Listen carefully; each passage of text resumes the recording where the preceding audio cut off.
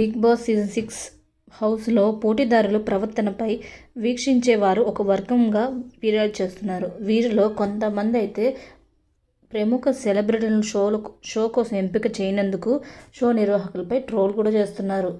మొత్తం మీద Bigg Boss Telugu season six కంటెస్టెంట్స్ని చూస్తే వీక్షించే అంటే బిగ్ బాస్ని ప్రేమించే అభిమానించే ప్రేక్షకులు అయితే నిజంగా సంతోషంగా లేరు.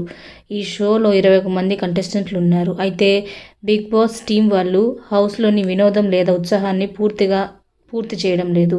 ఇప్పుడు బిగ్ బాస్ షో నిర్వాహకులు వైల్డ్ కార్డ్ ఎంట్రీతో ప్రేక్షకులను పరిచేందుకు ప్లాన్ చేస్తున్నారని పుకార్లు ఉన్నాయి. మరి తెలుగు టెలివిజన్ పరిశ్రమకు చెందిన ఓ ప్రముఖ సెలబ్రిటీ బిగ్ బాస్ హౌస్లో మసాలాలు వేయడానికి బిగ్ బాస్లోకి వైల్డ్ కార్డ్ ఎంట్రీ ఇచ్చే అవకాశం ఉందని అందరి టాక్ నడుస్తుంది. అయితే వైల్డ్ కార్డ్ ఎంట్రీకి సంబంధించిన వివరాలు చాలా సీక్రెట్గా ఉన్నాయి.